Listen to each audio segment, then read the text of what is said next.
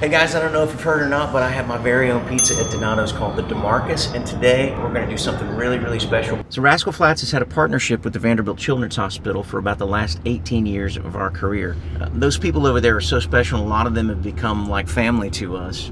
And so to do this partnership with Donato's and to be able to give back a, a, little bit on a personal level with the DeMarcus Pizza, it's been a real special thing for me because Donato's is from my hometown of Columbus, Ohio. Share, share some pizza love with you from uh, my favorite Thank pizza you. place in town.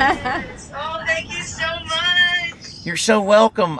Uh, the DeMarcus Pizza, uh, with every one sold, one dollar goes to the Vanderbilt Children's Hospital. Oh, fabulous. And I just wanted to say thank you so much from the bottom of my heart. I appreciate what you all are doing, and God bless you guys, and let you know you got a lot of people behind you praying for you and thinking about you guys every single day. Thank you so much. Thanks so much. Thank you. Bye, you guys.